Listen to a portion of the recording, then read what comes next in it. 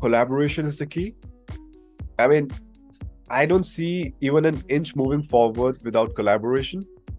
It is important that, you know, when we have clearly defined unified 17 SDGs, nobody can achieve all of them all by themselves, right?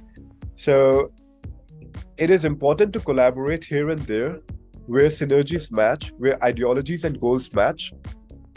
Academia has the power to go in depth, industry has the power to go really wide. So imagine like a T graph.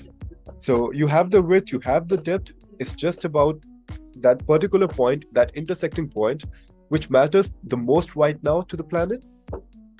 One example being from destination marketing organizations that really promote how, you know, like like visit Thailand, come have fun. It's it's a nice beach, uh, sunny place, and all.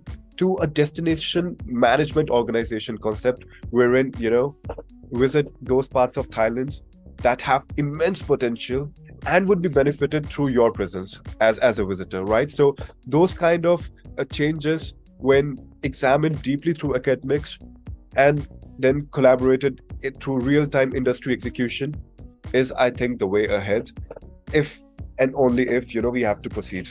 Because there's one thing that i go by there's this one saying by this amazing researcher called john Swarbrooke he wrote this book called sustainable tourism management in 1999 imagine in 1999 he wrote about this. He said it's hedonistic tourism is meant to have it's, it's meant to be you know it's like like engaging. A lot of fun has to be involved in that. And now people, when the wave of sustainability started, were very active in sustainable lifestyles, were very active in sustainability when it comes to their works, workplace. But then, you know, when tired of their sustainability lifestyle and routine, they want to have a vacation where they want to just relax and be in this hedonistic, uh, you know, stature. And that's where the trouble happens.